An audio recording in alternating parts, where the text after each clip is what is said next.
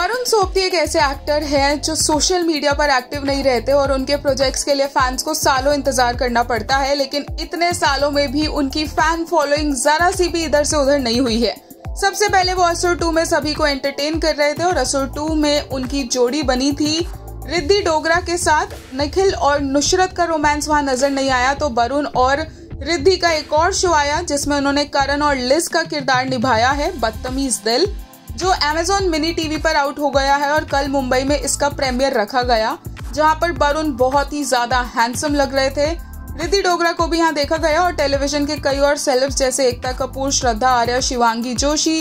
ऋत्विक धनजानी करणवीर मेहरा, सभी यहाँ पर इस शो को सपोर्ट करने पहुँचे और इस शो को ऑलरेडी फैंस ने एक बहुत बड़ा थम्सअप दे दिया है, क्योंकि ट्विटर पर बदतमीज दिल ट्रेंड होता नज़र आया। वरुण सोपती के फैंस तरस जाते हैं उन्हें देखने के लिए और जब बैक टू बैक उनके शोज़ देखने को मिल रहे हैं तो फैंस कंफ्यूज हैं कि वो क्या देखे। एक ट्विटर यूज़र ने कहा, यार, Varun Sobti I am still trying to catch up with Asur two and Badtameez Dil two drops suddenly मतलब मैं क्या करूँ निखिल को देखूँ या करण को? Only joking so happy for this beautiful Varun Baarish my weekend is booked एक user ने कहा these caps do not do justice to how perfect he is in motion His expressions, his voice, the nuances, everything. He's born to act, to do romance, to show that handsome face to the world. So much प्यार for this beautiful charming man. Varun की बहुत ज़्यादा तारीफ़ हो रही है रिद्धि के साथ उनकी केमिस्ट्री भी हर किसी को पसंद आई है वरुण को रोमांटिक रोल्स में देखने के लिए ही तो फैंस वेट करते हैं और काफ़ी टाइम के बाद उन्हें वैसा रोल मिला है